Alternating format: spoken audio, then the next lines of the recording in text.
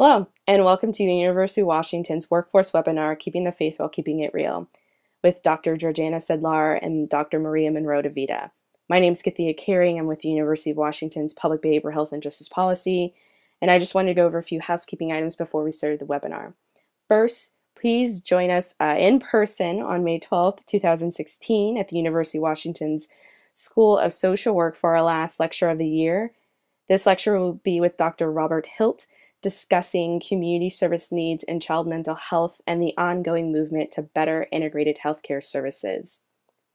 Secondly, our presenters would like to thank Dr. Suzanne Kerns and Roselyn Peterson for providing them support and research on this webinar.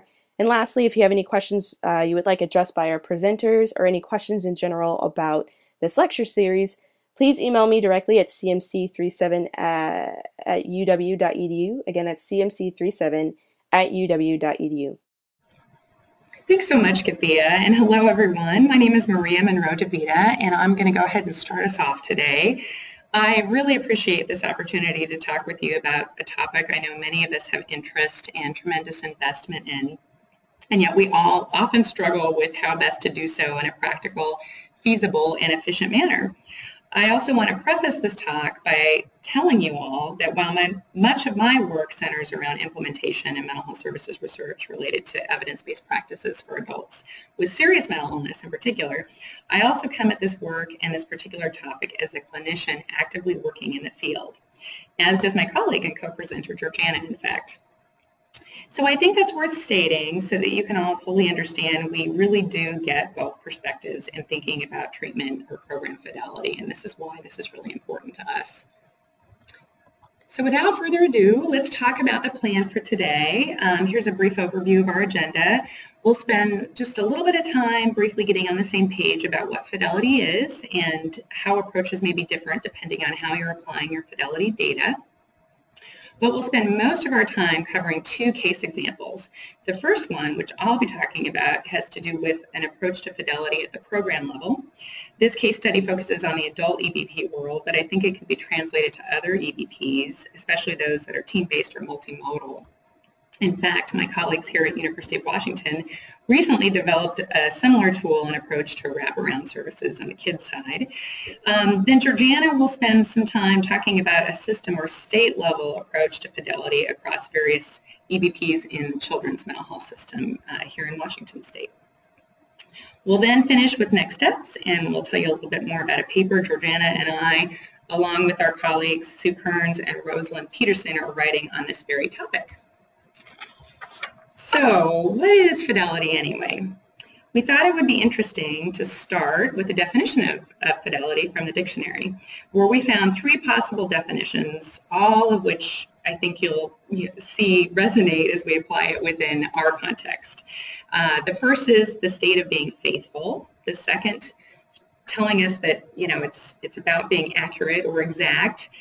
And the third, well, a little off course in terms of the media application, has to do with the need for accurate replication, which I think is kind of what we're talking about overall in our context.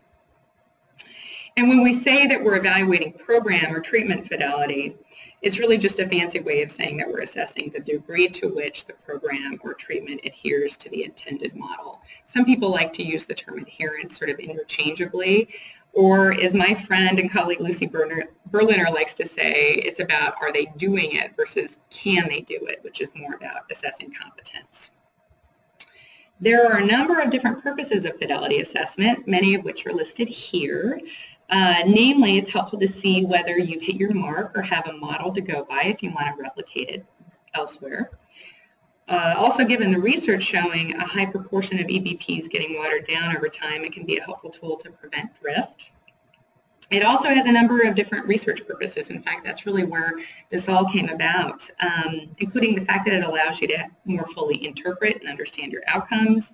If a particular aspect of the treatment wasn't even implemented, that enables you to understand why you didn't have an impact on those related outcomes. But lastly, and perhaps most central, to our discussion today, fidelity evaluations are increasingly used to guide performance improvement or uh, other QI or QA efforts. Sure, outcomes are really the most important thing at the end of the day, but giving clinicians, giving clinicians information about what they're doing or not doing to get to those outcomes can be really powerful. So we see this process as really essential for ensuring quality program implementation. Another way to think about the various purposes of fidelity is to approach it through the eyes of different stakeholders in this process. So at the participant and family level, it's just good to know what the treatment entails and that you're getting good, solid services. And as I said earlier, at the end of the day, client outcomes are the most important thing. We know across various treatments and EBPs that high fidelity to the model is tied to better outcomes. At the program level, this is really where we see the tie to quality assurance. Knowing a clinician's strengths as well as skills in need of improvement can really help to target the efforts of those in a supervisory role. And there are a number of specific EBPs. I'm sure you are involved in them uh, as I speak. And the related purveyors are out there and require fidelity assessment to be a part of that implementation package. I already spoke to several of the research applications in my last slide, so I'm going to skip past these, but put them here to just remind us of the fact that these are big drivers for making sure a fidelity assessment is done.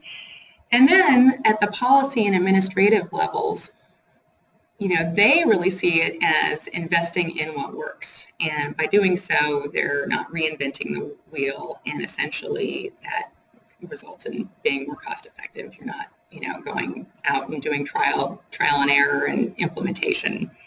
We also know, um, especially in the world that I work in, that sometimes outcomes come more slowly, um, especially those that have to do with sort of longer term functional outcomes. And so to only use outcomes as the uh, main way of getting feedback can take a long time versus at least assessing fidelity helps to know that you're sort of on the right trajectory or on track to get to those outcomes over time. And when you think about the various stakeholders and what they're trying to balance in their decision making related to whether or how to approach a fidelity review, and I'm really only talking about those who are in a decision making role here, the biggest concern that comes up is that balance between accuracy um, in other words, are we truly tapping whether people can do this particular practice or skill and the feasibility of embarking on what is often a fairly burdensome task, unfortunately. I've listed here um, a few ways in which this approach can be a little bit burdensome. Um, I think the matter is just how much burden, burden are we talking about? Many of the gold standard approaches for fidelity assessment are not so feasible. And by that I mean the typical approach of having multiple treatment sessions, audio or videotaped and listened to and rated by an independent expert often means listening to five to 10 sessions before being deemed a high fidelity clinician in that particular EBP. That, that can be kind of unfeasible. Um, several less burdensome approaches have been implemented. For example, having clinicians self-rate their sessions by endorsing which practice elements they've used. Uh, but again, those approaches do have some inherent bias. The question is, do we really know if they can do it? And if so, is this a good enough method? Sadly, in many cases, we really don't know. Um, there's a dearth of empirical research out there on practical approaches to fidelity assessment. Uh, our team actually reviewed 84 articles and only four to date provided information about practical fidelity that had research support and two of those articles were actually from members of our team. So it tells you a little bit about where we need to go and Georganna will talk a little bit about that in our uh, next step slides. So I'm, now that I've set the stage, I want to talk about the first case study, which focuses on development and implementation of a fidelity tool for the Assertive Community Treatment or ACT model. It is of note that several EBPs for adults with SMI, like supported employment and integrated dual disorder treatment, for example, use a similar fidelity approach as ACT. Um, and as I mentioned earlier, on the KIT side, Wraparound is using a similar approach within their suite of fidelity tools. But I do think this work translates to other programs and treatments, especially those that are multi- multimodal and team-based. So I think it's really something that we should consider for other kinds of treatments and, and would be applicable. Before I get into it, I just wanted to give a quick shout out to my colleagues, Lorna Moser and Greg Teague, with whom I've been working on this project and approach um, for the better part of a decade now. Um, these are kind of the results of our work that are continuing uh, today. Um, so what is ACT? Just briefly, I want to let you know kind of more about what the program is so that you can better appreciate why it is particularly um, difficult uh, to, and challenging to develop a fidelity uh, tool and approach to this particular model. ACT is an EBP for adults with SMI, serious mental illness, which includes those with schizophrenia spectrum and bipolar disorder, as well as those with significant functional impairments and high service needs. It's a team-based approach to service provision, which means that every single team member knows about what is happening with every single consumer served by the team. And because it is a multidisciplinary team, they have the capacity to directly provide a range of services and do not broker to other programs, as is common among traditional case management programs. ACT is not office-based. Services are provided in consumers' homes and communities with the capacity to provide services at a high level of intensity and frequency. A big misconception of ACT is that it is only a case management model and that many of the services entail only doing for clients rather than teaching them to do the skills for themselves. But case management is really only one of several comprehensive services an ACT team should offer. And I'll show you some of those examples of those kinds of services in a moment. And lastly, while the team should be assertive in its approach, this should never mean that they're coercive. And I think this has been sort of a historic problem with the ACT um, nationally. Uh, but in sort of revamping and, and really making sure that the model sort of fits with the times, we really focus more on and, and need to focus more on, I think, if we want to get the outcomes that are needed in ACT, that person-centered approaches that promote consumer self-determination and independence are really key and an integral part of the model. So here's an illustration of services typically delivered within an ACT team. You've got the pharmacological treatment uh, sort of at the top there, and then a range of other psychosocial interventions, many of which are EBPs in their own right. Um, and then you've got case management as well. So often there is sort of an intertwining of the two where you might be providing case management within an ACT team, going to the grocery store or uh, to the benefits office or doing job coaching. And you're also at the same time, you might be doing some motivational interviewing or um, talking about um, substance use or helping to better understand what the person's you know fears are around changing diet and those kinds of things. So they're interwoven. And the problem, as you can see, is that many of these other EBPs, um, or I should say other services, are actually EBPs in and of themselves. And many of them have their own fidelity tools to go with them. So it starts to become a dilemma when you think about how you approach fidelity. And to make matters a little bit more tricky, um, within, embedded within many of these EBPs are other empirically supported approaches like motivational interviewing and CBT. So it just continues to complicate matters and you can see that a complex theme is emerging and why assessing fidelity to this kind of program may pose a little bit of a challenge. So I want to talk a little bit about where our story starts. It starts with an outdated ACT fidelity tool, the Dartmouth Assertive Community Treatment Scale, or the DACTS. Uh, it's the original tool used to assess fidelity to the ACT model. It has 28 items and each item is ranked, or rated I should say, along a five-point behaviorally anchored scale. And you can see right here an example item, responsibility for crisis services. So the ACT team is supposed to provide crisis services. And then you can see how they would rate when they provide various um, iterations on that theme. Again, with five being the highest and one being the lowest rating where they haven't fully implemented that particular uh, fidelity element. And this is the same format, this one to five uh, rating across those 28 elements of fidelity assessed within the DACTS. The method they use is a one-day site review using a range of data sources, and, and, this approach had to be different than what is typically used for traditional psychotherapy programs. You can imagine it's difficult to do video or audio taping because most of those services are provided out of the office um, to really be true to ACT, and there are multiple team members delivering a variety of different interventions, so it gets pretty complicated pretty fast. The problem is the tool was originally developed for a specific study and gained popularity because it was the only fidelity tool out there for ACT. And then over time, there were other uh, the active program manual, the SAMHSA toolkits were developed, so it was developed before any of that. Um, the, the national ACT program standards were developed, and there's some kind of disalignment um, between the DACTS and, and those standards nationally. And perhaps most importantly to our discussion today, there are a number of measurement gaps within the DACTS. Essentially, the DACTS is focused more on what an ACT team should look like, but not as much on what an ACT team does or what are the services that they provide.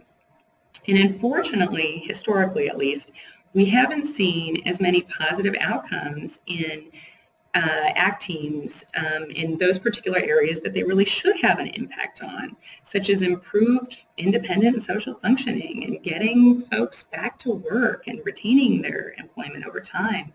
We think that part of the reason that we haven't seen those outcomes in ACT is because teams have really not been held accountable to providing the kinds of services that would lead to those very outcomes. And so this is where we are today. This is why we felt the need to implement um, this particular type of fidelity tool. Again, these are the kinds of services and programs that aren't in the DACTS and really should be. And yet, we know that we have to strike a balance. Um, that just because the DACTS has some gaps, if we start to sort of broaden the scope or delve a little deeper into what an ACT team should be doing, there may be some trade-offs as far as other kinds of burden, which I talked about earlier. Person power, training, workload, time, even funding to really be able to implement any sort of fidelity assessment that goes beyond what the DACTS did. So we recognize that. And we really tried to strike a balance as we started with our original 28 DACTS items. Uh, we removed six of them, uh, particularly those that didn't seem to be particular to ACT um, and are really just based on what is a good good clinical practice anyway. Um, we added 25 new items then, and we ended up with 47 items in our uh, final fidelity tool. And here's what it looks like, just briefly. Um, there are those 47 items, again, using that same five-point anchored scale, one being, you know, that that particular element was not implemented, and five being the highest uh, implementation. And then six subscales, the first of which is operations and structure, which really gets at what a lot of the DACTS assessed, the extent to which it looks like an ACT team.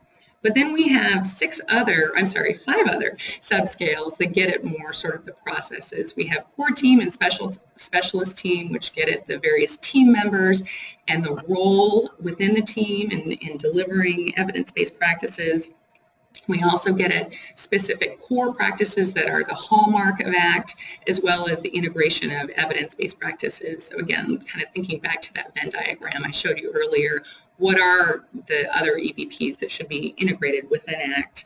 And then making sure that, again, recovery-oriented, person-centered approaches are also reflected within the ACT team and that there isn't sort of this default to more coercive practice. In developing this tool and approach, we knew that we had to tackle a number of inherent dilemmas within this particular model, which I'm sure you would, could probably start to name now that I've sort of set the stage for this. We've got many team members delivering the interventions. We've got a variety of interventions, um, often provided within the team and tailored to, to the clients. We have services that are carried out any time of day. Again, this is sort of round-the-clock service, and, it, and the team has the capacity to provide services multiple times a day. You've got a service setting that is often in clients' homes and communities, which makes it tough to assess. And then again, sort of making sure that we've got this recovery-oriented um, practice embedded within the model. And while many of them have a strong philosophical basis, some of them have not been as well articulated in terms of what are the actual practices that are recovery oriented. So that's the other part of the dilemma. So the first thing that we did was to adopt a similar approach to the DACTS, which is again a similar approach used by other EBP fidelity tools in the adult SMI area, but with a few adaptations. Um, for starters, we take a little longer. The fidelity assessments include about a one and a half to two day uh, on-site review with the ACT team. And you know, you could say, wow, that's a lot of time and resource to do ACT fidelity assessments. But again, these reviews typically occur only annually. And in many states, including my own, if teams score above a certain fidelity rating and don't have a lot of staff turnover, they can actually have a pass um, and then have their fidelity review the next year. So sometimes it can even be every other year. Um, and again, think about the context. Think about what the alternative is as far as sort of other gold standard approaches. We're not saying that just because an ACT team is supposed to be using CBT for psychosis that then every clinician who does CBT for psychosis needs to use, who uses it, needs to have six to 10 of their audio tape sessions rated for, for fidelity. That would happen, all happen within the context of this particular fidelity review. And then we use a mix of data sources. We've got these, um, I have often been called indirect data sources.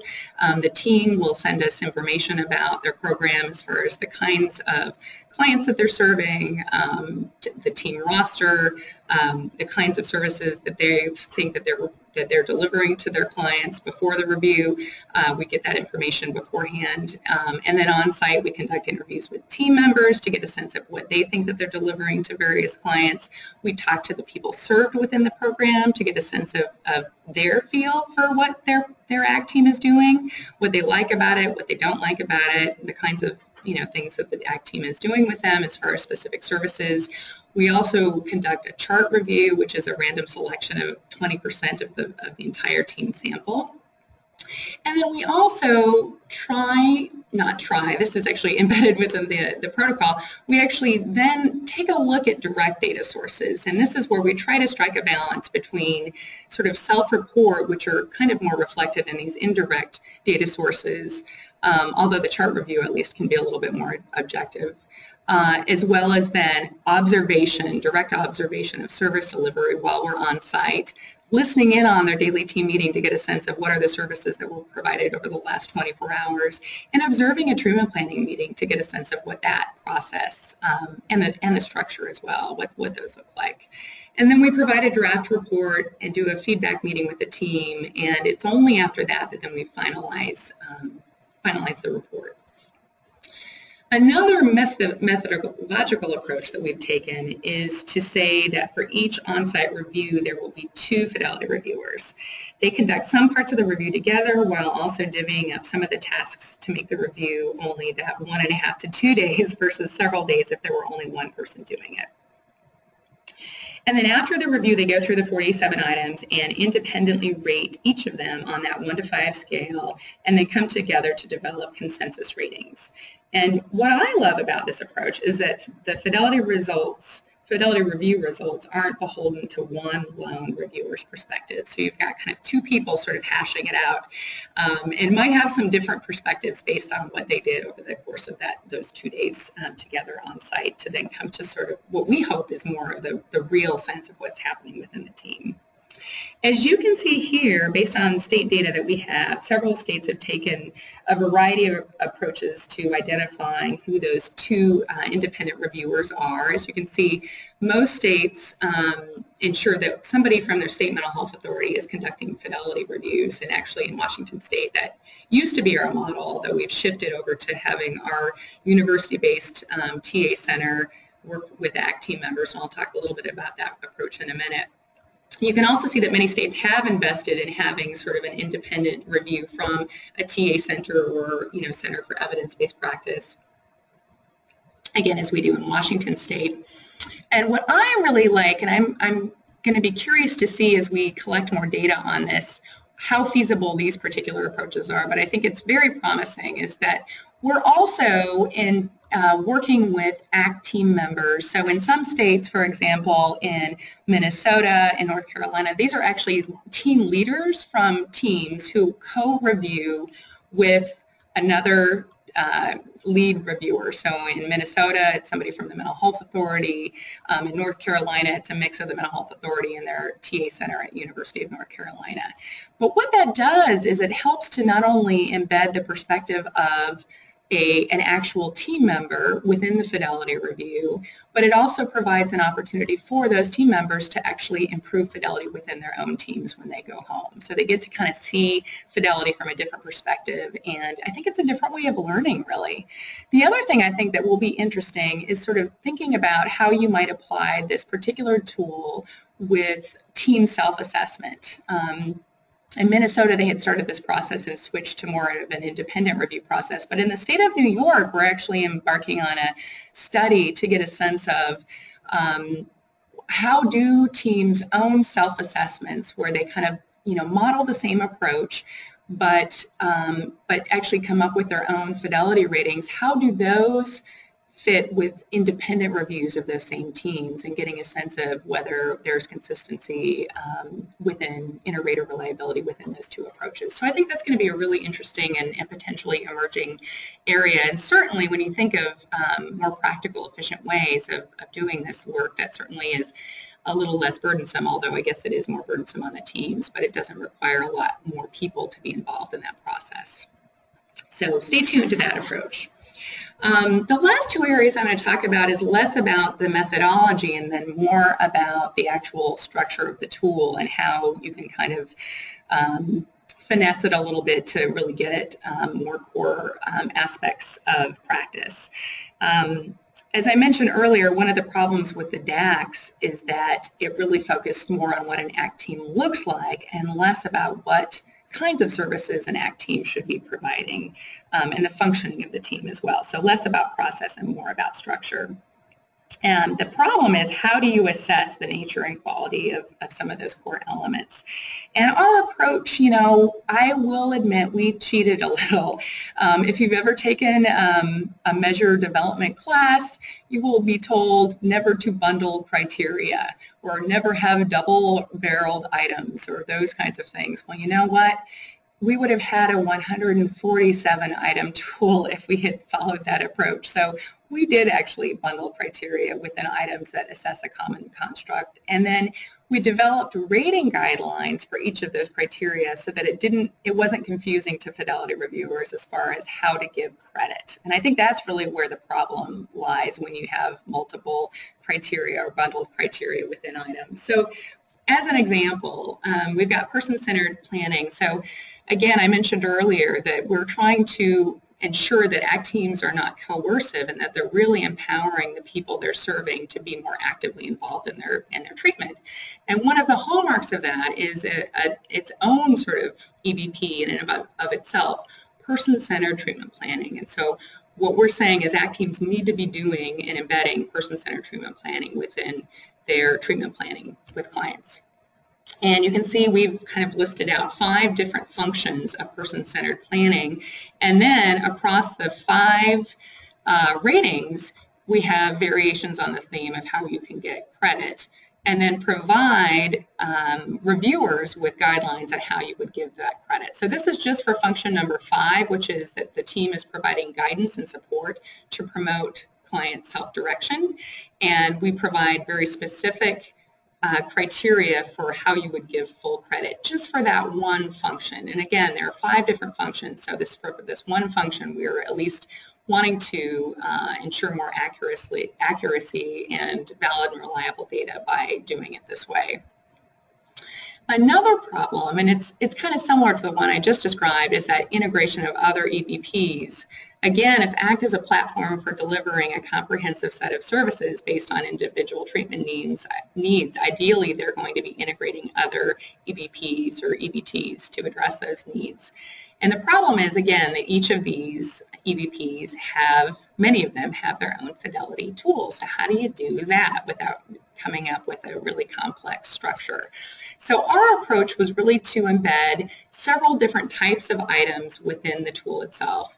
We assess the quality of interventions delivered by specific team members by looking at the specific specialists within the teams and and really specifying what kinds of interventions they should be sort of waving the flag or, or uh, wearing the hat in delivering. So making sure that they're really taking the lead in the team and delivering those. The second way is to examine the extent to which the full team overall is embracing the philosophy and practice of each type of those other evidence-based practices.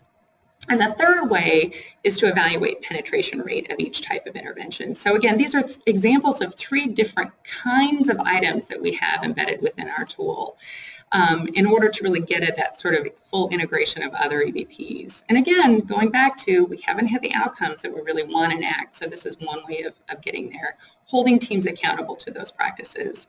This is an example of one of those items, um, the extent to which, which the full team is embracing more of an integrated dual disorder treatment model.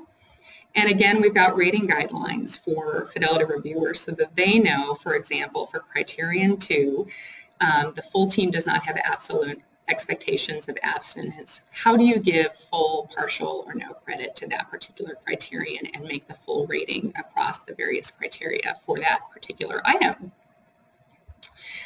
I'm looking at my time and I'm realizing I'm getting a little bit close and I want to make sure Georganna has plenty of time to talk about her important project. So I just want to end this by saying um, and, and giving you a little bit about just how successful this approach has been. It's all well and good to say we've specified some, you know, a particular way of doing this within ACT, but do we have any data to support its feasibility, acceptability, and outcomes? And I do have some of that. Um, you'll have these uh, PowerPoint handouts, so you can refer to them um, at your leisure. So I'm going to just go through them very quickly. But I think the fact that, that many states have sort of shifted over from the DACTS to the TMACT in a very short period of time. We've got 17 different states now using the TMACT. I think says something about feasibility and acceptability. We're working in states, many states, uh, particularly, particularly those in the dark blue, are actually implementing the TMACT statewide with the light blue states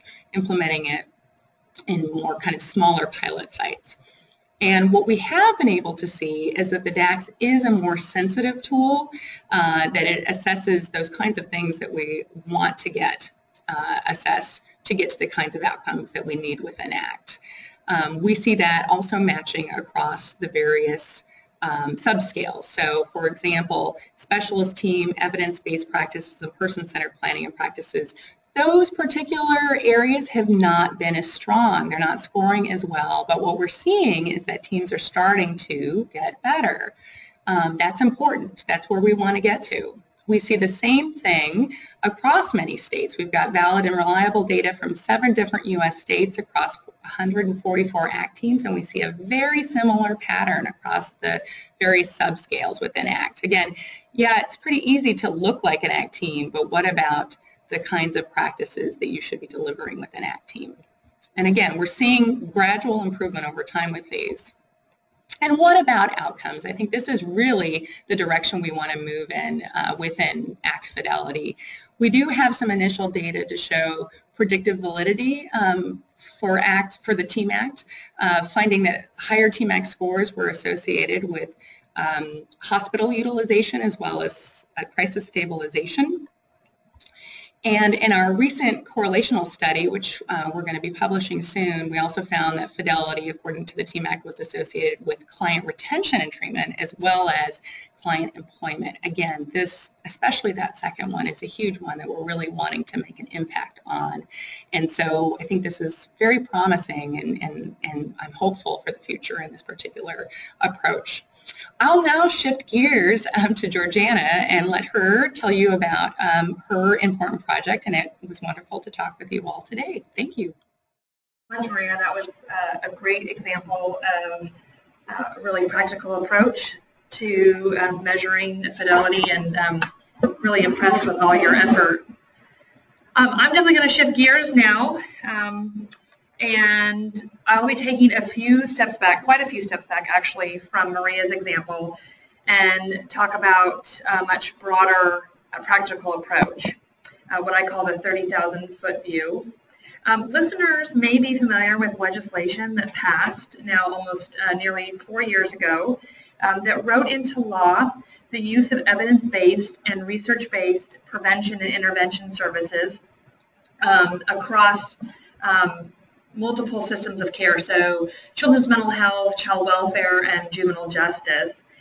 And the law basically states that the prevention and intervention services delivered to children and juveniles um, be primarily evidence-based and research-based, And then as you can see, the specific language around um, that speaks to fidelity says um, it's to use monitoring and quality control procedures designed to measure fidelity with evidence-based and research-based prevention programs. So it's great that there was an acknowledgement of um, being able to require that there was some kind of fidelity, um, but there wasn't much more guidance or specification provided uh, regarding how to accomplish this task. So that leads to the next slide. So um, as part of this legislation, um, a listing of programs were reviewed and they were designated as either evidence-based practice, research-based practice, or promising practice according to certain definitions that were um, specific to Washington State and placed on um, the inventory that you see here. And this is just a screenshot. This is just one page of a multiple page report. Um, the link is down below on the screen. So as when you get these slides, you can you can access that on the web if you'd like. Um, WSIPP, or the Washington State Institute for Public Policy, the research arm of the legislature, did these analyses to determine if a program made it on the list or not, um, and then the inventory gets periodically updated. So I wanted to just show you this screenshot to give everyone a sense of the, the number of programs that could count as research or evidence-based. So while Maria gave a great example of one program, we're talking about you know that program times times many more, and so you can appreciate um, sort of what's what's involved and how daunting um, the the task can be. And um, as you as you saw, there's so we know there's many research-based programs and evidence-based programs on the inventory, and we also know that provider organizations um, really could be doing a lot of those programs that are on the list, not just one, um, depending on the size of the organization. And they can have and they can have many providers trained in multiple programs. So can you start sort of doing the math, and things really add up. So this leads us to how do we know what's being done and how it's being done? When you start adding up uh, the numbers of evidence-based programs that organizations may offer and the number of providers they have, um, you can really appreciate the great task that's facing organizations about how they're going to keep track of what providers are doing across all these programs, in addition to the day-to-day running of an organization, which is a lot. Scheduling and seeing clients, providing supervision, staffing meetings, clinical documentation. Uh, measuring fidelity is an effort even when you have grant funding and trade trained professionals for this specific purpose, such as in research studies, as Maria talked about earlier. But when you consider the real world demands, such as productivity expectations, paperwork, challenging clients, um, you things really start to get real, as we like to say. Um, so Maria talked a lot about striking a balance, and I'll just reiterate and underscore that that um, we really wanted to strike a balance between capturing some reliable information on what therapists are doing versus what they're saying they're doing, um, but also keeping in mind the realities that face providers and organizations every day. The EBPI, where I work, um, has been uh, partnering with DBHR and, and working with other stakeholders to develop a method for capturing what organizations are doing that would be useful to the state. Um, so would be able to know what are the numbers for um, you know who's doing what, but that would also be minimally burdensome to all stakeholders and hopefully be practical for organizations and something that could be integrated into existing practices.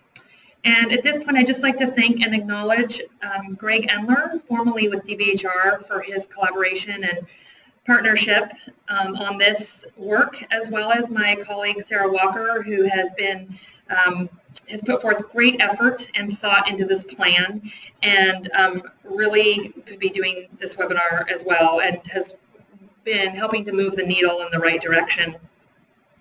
Um, I also want to acknowledge um, the other stakeholders involved, um, RSNs as well as provider organizations, clinicians, supervisors who have been providing really valuable feedback and input as we've been thinking about and developing this fidelity approach. So in terms of keeping it real, um, I think keeping in mind these three F's um, that are up on the slide, that we wanted something that was feasible for everyone involved.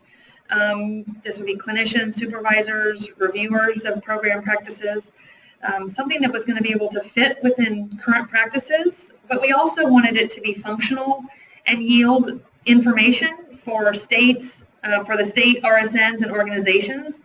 And, um, and then, of course, uh, we'd love it to be free, but we know there's really no such thing as free. Uh, but we really had to be mindful of developing this within the constraints that there was no additional resource provided by the legislature when this bill was passed and, and requiring that um, that fidelity be, um, be measured in some way. Our thinking around this has been informed by multiple sources. Um, we've turned to the literature around what other state models um, may have been out there. Um, there. There wasn't a lot that sort of was um, going through sort of the same situation that Washington State was. So we've we've had to draw upon what other states have done, but also be thinking about this as it um, is relevant to Washington State. Um, we've done a survey uh, within Washington State uh, of various stakeholders to get their input, and then also our esteemed colleagues um, who are grappling uh, with these issues.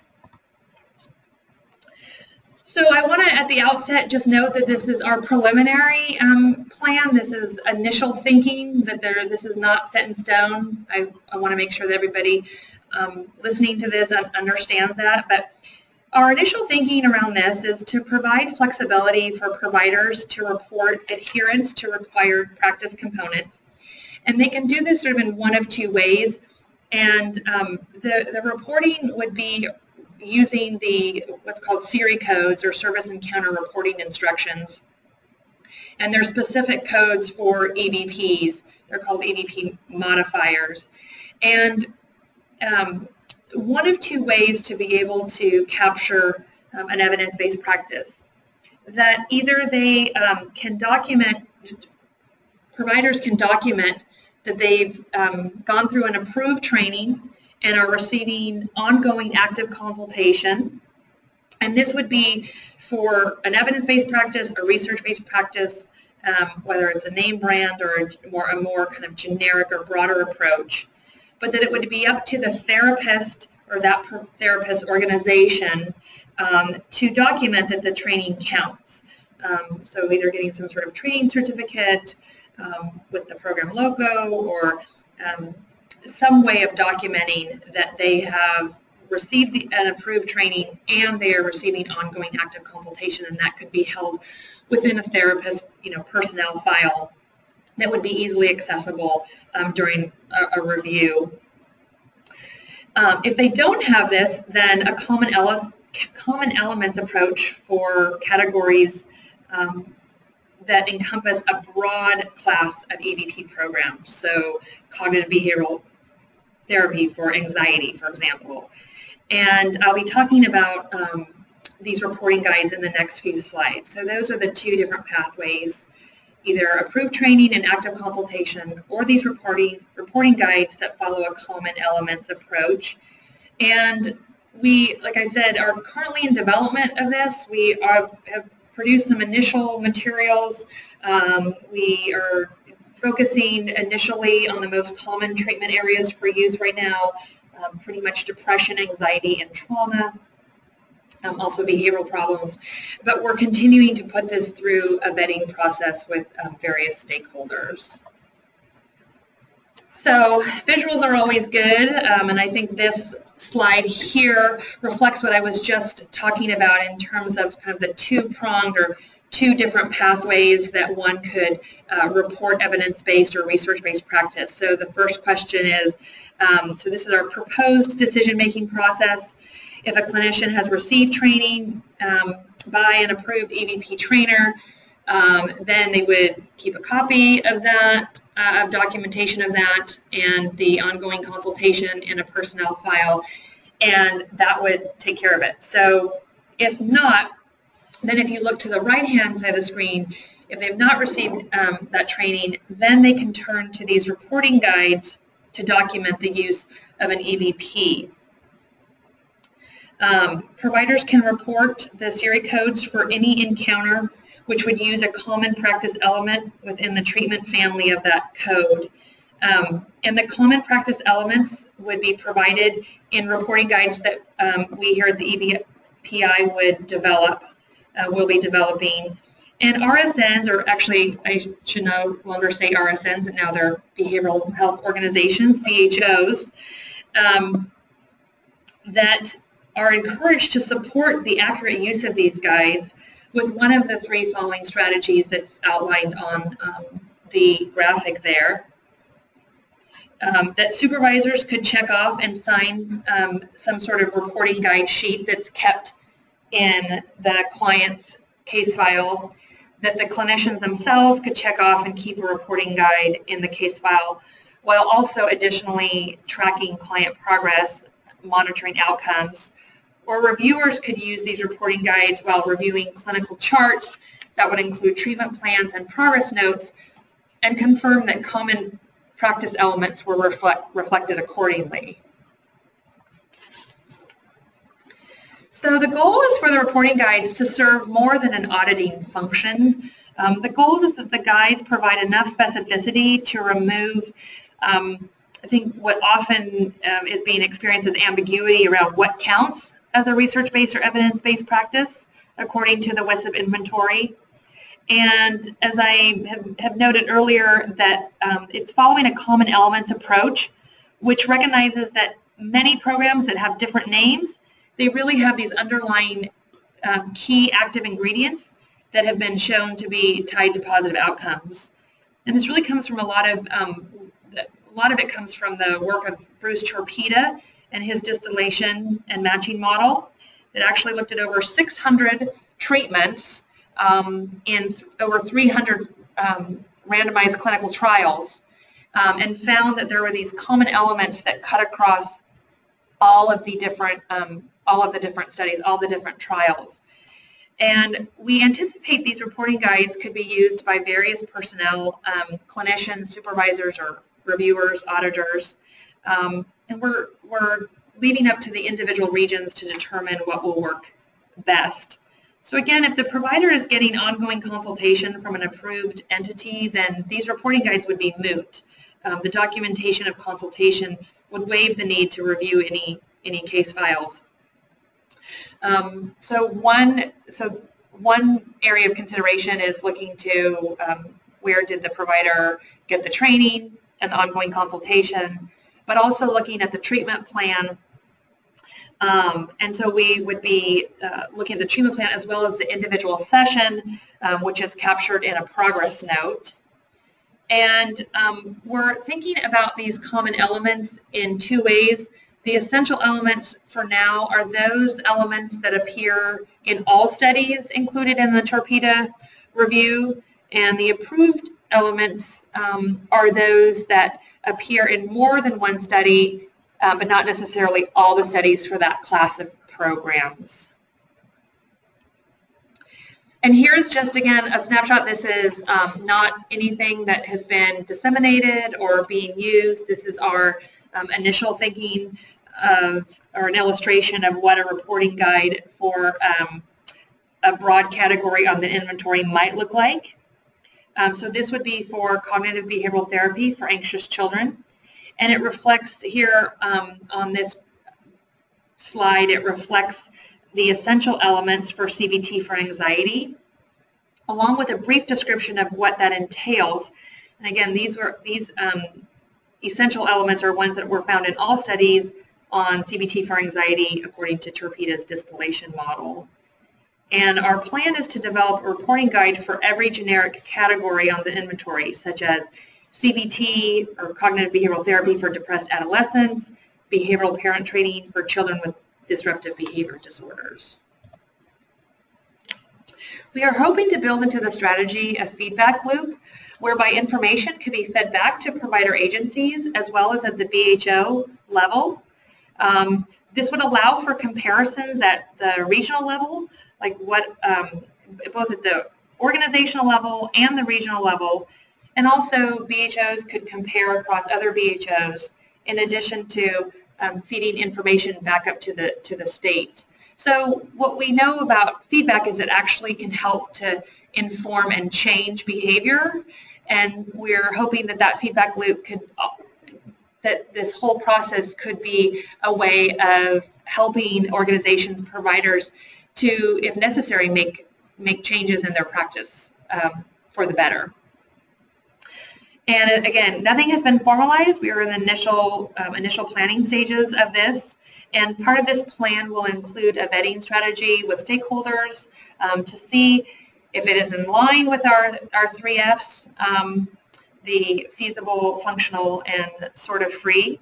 And then we would use the feedback to refine as, as needed. And we are also in ongoing communication with our DBHR partners around next phases. So to wrap up, um, just to again emphasize how really looking at fidelity approaches is going to be driven by the needs and the goals of those involved in measuring it. And through our research, as Maria mentioned, we have not found many practical fidelity approaches discussed in the literature base, and even less so when you look at those that have empirical data. We've talked about both a micro level approach um, that Maria gave and then a more macro level approach that I just talked about to measuring fidelity. And we will be synthesizing our literature review results in a paper and um, talking about what's currently out there in the in the literature, but then also um, hopefully we'll endeavor to move the field forward in this area through uh, future directions and recommendations for next steps uh, with regard to practical approaches to fidelity. We appreciate your attendance in this webinar and we hope you have a wonderful afternoon.